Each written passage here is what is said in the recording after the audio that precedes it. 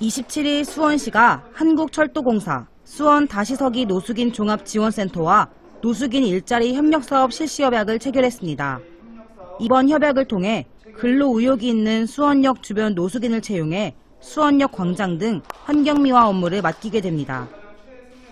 한국철도공사는 일자리와 급여 지원을, 노숙인 종합지원센터는 참여자 선발을, 수원시는 행정적인 지원을 하기로 했습니다.